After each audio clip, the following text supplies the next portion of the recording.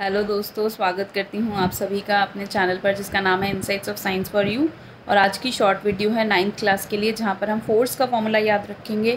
Force का formula होता है cross product of mass and acceleration तो F is equals to M A तो एफ़ एम ए को हम कैसे प्रोनाउंस करेंगे? फोर्स है मा।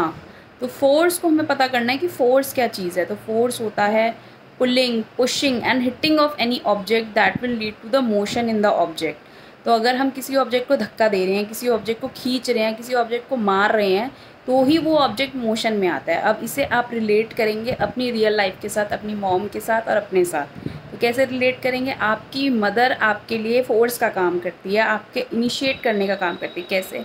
जब उन्हें आपसे कुछ काम कराना हो, आपको किसी चीज़ के लिए मोटिवेट करना तो वो आपको पुश करती हैं। तो आप वो पुश करती हैं तो आप मोशन में आते हो। आपको समझ में आता है अच्छा मुझे काम करना है।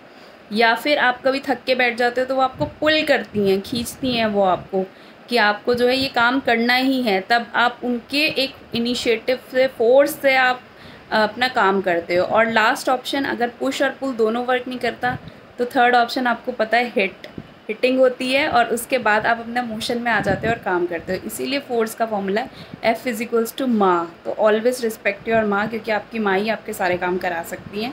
अगर आपको ये ट्रिक वीडियो पसंद आया तो इसे लाइक ज़रूर कीजिए शेयर ज़रूर कीजिए और चैनल पर नए हैं तो सब्सक्राइब करना मत भूलिए। Thank you